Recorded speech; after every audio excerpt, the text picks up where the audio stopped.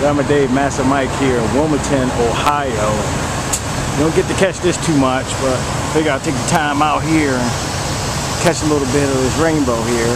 Not complete, but good enough to make this video vlog.